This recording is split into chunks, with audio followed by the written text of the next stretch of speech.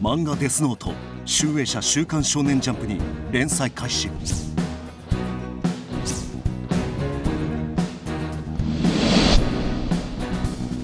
映画「デスノート」公開。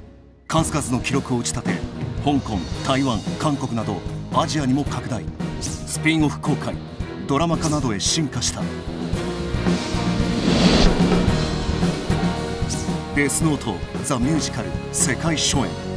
ブロードウェイ作曲家フランク・ワイルドホーン演出栗山民也世界的クリエイター陣のコラボレーションから本作が誕生。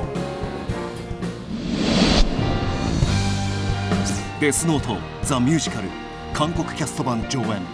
エル役に元東方神起キム・ジュンス出演。2017年1月再演。チケット前日完売。2年ぶりの再演。日本人キャストによる台湾公演。大ヒットを記録。そして世界が東京に注目する2020年。キャストを一新し新生デスノートが今動き出す。